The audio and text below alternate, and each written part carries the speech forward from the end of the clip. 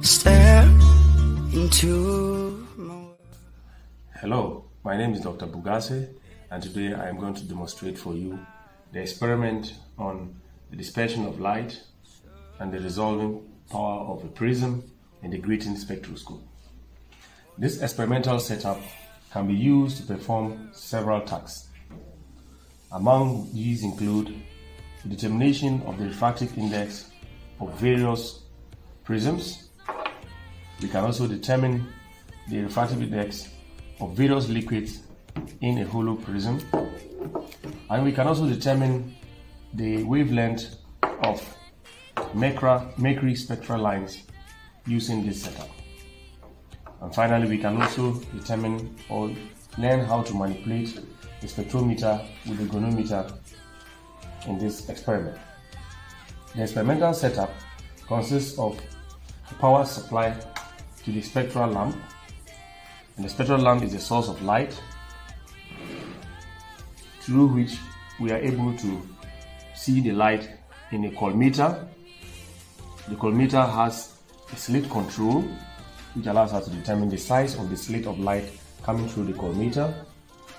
And again, we have what we call a telescope, which allows us to view the light from the collimator.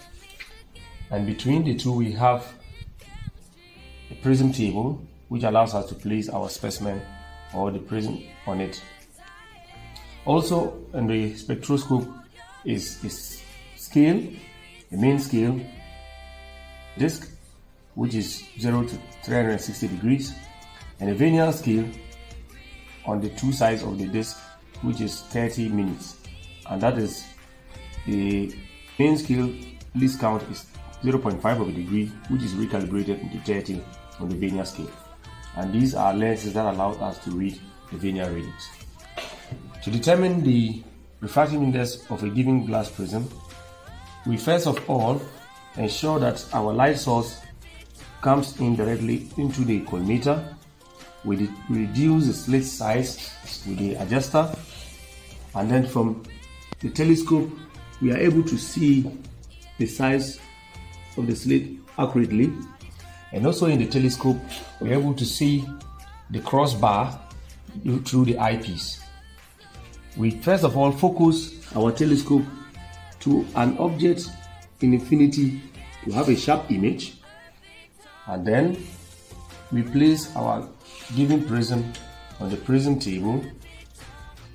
We can adjust the height of the prism table using the screws beneath the table and with the aid of the telescope we are able to focus to the dispersion of the light through the glass prism. We will see the different colors of the dispersion of light. This we are then able to place on each color stripe. We place the crossbar on each color and then we measure the readings of the color on the, each vernier scale on both sides of the scale and we take the deviation from it and from known formulae we're able to compute the refractive index for each wave of the prism. This is also similar and can be done for the case of the wavelength of the mercury spectral lines. Thank you.